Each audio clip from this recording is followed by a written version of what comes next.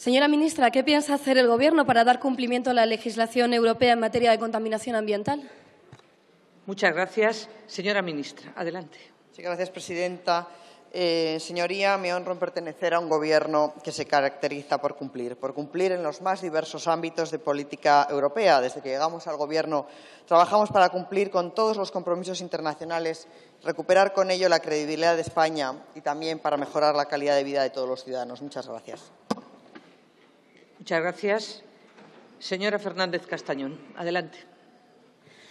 Verá, ministra, es que si le hicimos esta pregunta es porque observamos con sorpresa que su mejor respuesta ha sido cargar contra los ayuntamientos de Madrid y Barcelona, qué casualidad, culpando a esos ayuntamientos de la multa y la, bronca europea. Y verá, es que yo soy asturiana y da la casualidad de que la zona centro de Asturias, con las ciudades de Sison y Avilés en el ranking a la vanguardia, es uno de los focos de la contaminación que preocupan a la Unión Europea, pero que a usted se le olvidó mencionar en ese reparto de culpas. La zona centro de Asturias es la séptima área metropolitana del Estado en cuanto a población y la cuarta en motorización. Al menos un millón de personas vivimos sometidas a unos picos de contaminación que aunan lo industrial con ArcelorMittal como gran contaminante de la región con el hecho de que no se deja de incentivar el uso del coche en la región planificada por un transporte privado que ve desmantelarse su transporte público significativamente en las cercanías. Y verá, con condiciones climáticas especialmente adversas, nuestra contaminación supera la de esas dos ciudades del cambio que usted censuró como responsable de la bronca europea, cuando lo cierto es que como ministra debería dar todos los datos y hacerse responsable. Fíjese en Asturias, el problema lo tenemos con el PSOE, que es quien niega la contaminación o le resta importancia por aquello de no meterse con la gran industria pesada de la región, poniendo por delante el interés empresarial y económico a la salud de la ciudadanía en una comunidad donde el cáncer y las enfermedades cardiorrespiratorias son el pan nuestro de cada muerte. Porque el PP asturiano, en la oposición, claro, no tiene problemas en arremeter contra esa inacción socialista. Y, señora ministra, verá, tiene que tomar las riendas de un problema de salud pública de primer orden, que revierte en el gasto sanitario, que merma la calidad de la vida de la gente, que antepone el dinero al cuidado y el respeto por el medio ambiente, que va en contra de la sostenibilidad de la vida, que solo beneficia a las industrias y a las eléctricas. Haga su trabajo y no dispare contra los ayuntamientos abogados por una parte de su acción que limita presupuestariamente y de su gestión que ha puesto precisamente el Gobierno. Mire, muchas asturianas y asturianos estamos tosiendo veneno y su responsabilidad es hacerse cargo y no leernos justificaciones.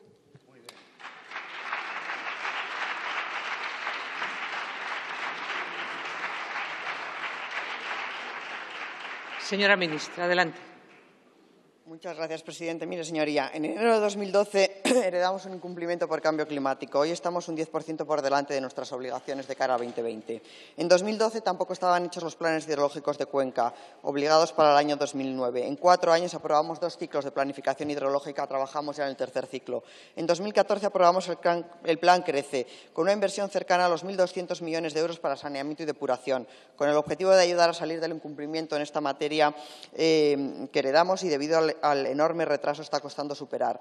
Trabajamos para mejorar la protección de nuestros mares. Hemos aumentado la superficie marina del 1% en 2012 al 8% en 2016. En los próximos meses concluirá la tramitación de la CEPIM del Mediterráneo, alcanzaremos el 13%, más que nadie en el mundo en materia de protección de nuestros mares. Superaremos el objetivo del 10% marcado a nivel internacional para el año 2020. Apoyamos también a los ayuntamientos y comunidades autónomas con el Plan PEMAR y con el PIMA Resudios, más de 7 millones el año pasado, para que cumplan sus obligaciones en materia de, eh, residuos. Y también trabajamos para mejorar la calidad del aire. Vamos ya por el segundo plan aire, dotado este con 276 millones de euros.